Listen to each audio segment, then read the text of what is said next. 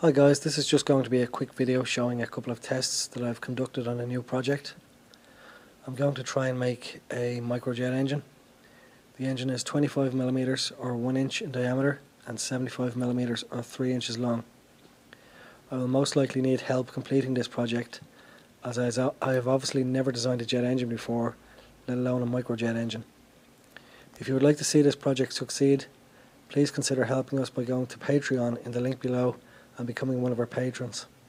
And also please recommend this video to any friends or acquaintances that you think might be interested or could help in the design of this microjet engine, such as engineers or people in the remote control aircraft community.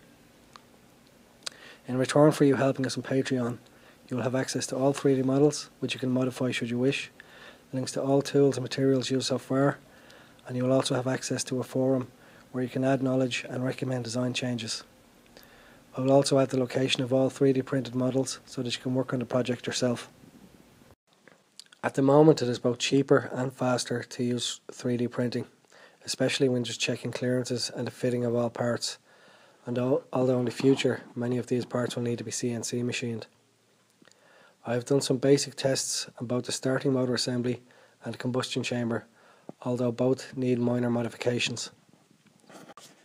In many of the videos that I've seen online that claim to show a microjet engine, the starting motor is connected directly to the engine and cannot be disengaged.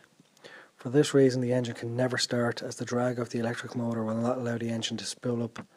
The starting motor needs a very basic clutch for engaging and disengaging from the engine. I have that part designed and it is on the way and I will make a video of it in the coming days. Until I receive the clutch I just have a basic video showing the starting motor assembly screwed onto the front of the engine. I am contemplating making the starting motor spring loaded with a Bendix clutch, but that might be making things a bit more complicated than they need to be. Please note that the clear perspex tube seen in the video is just for testing purposes so that I can see the combustion chamber. When I am happy with these tests, this will be, be replaced with metal.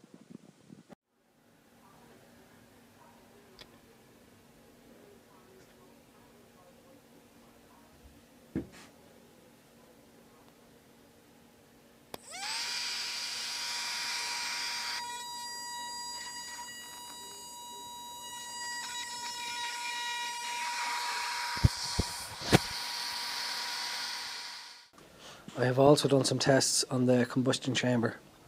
For some unknown reason I seem to have forgotten to add holes to the front of the combustion chamber, but I will rectify that in the future. So far the combustion chamber seems to be working very well. Believe it or not this is actually a 3D printed stainless steel part. And as it is 3D printed you can be a li little bit more creative with the design.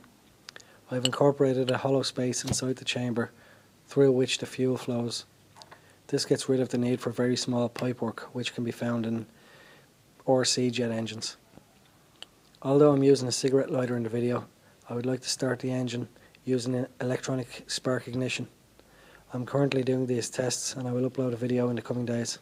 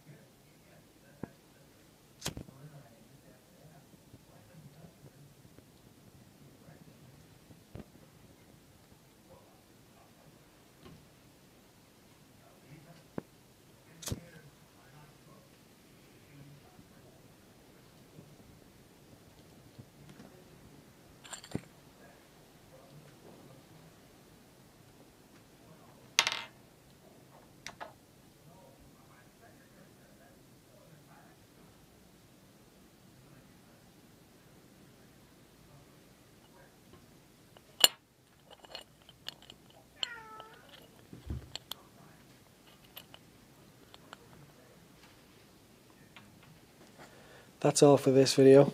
I will up- upload more videos in the coming days and weeks as I receive more parts. If you would like to get on board with this project, please head over to Patreon to help us out. Future projects that we will be working on in conjunction with this one include a gasoline powered Tesla turbine, a Stirling engine that is both small enough and efficient enough to run on top of an ice cube, a rotary Stirling engine, a Minto wheel, and many more projects besides.